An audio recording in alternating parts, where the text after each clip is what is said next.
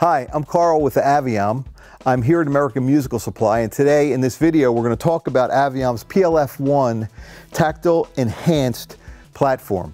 It's a performance platform that's a companion product to Aviom's Boom 1 tactile transducer uh, amplifier and processor. So we've already set the dip switches in the back to match the PLF1. So I'll show you some of the features of this PLF1. It's a performance platform.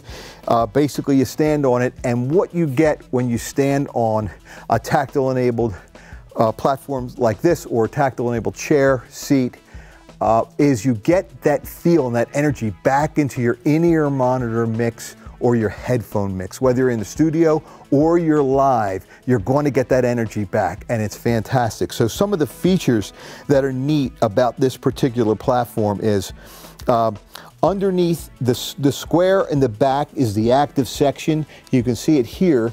The front is open and it's basically designed to have the ability to have a mic stand uh, slip right under. You can even put two if you want to.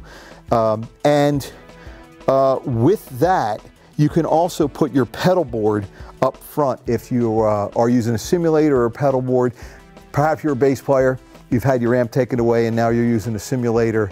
Uh, this will give you back your bass amp. This becomes your bass amp. You'll get that energy that you used to have with your cabinet right behind you now that you're on a silent stage it'll come right back to you and it's profound. If you want to learn more about this product and other uh, products with inside the product line of the Boom system, please visit AmericanMusical.com.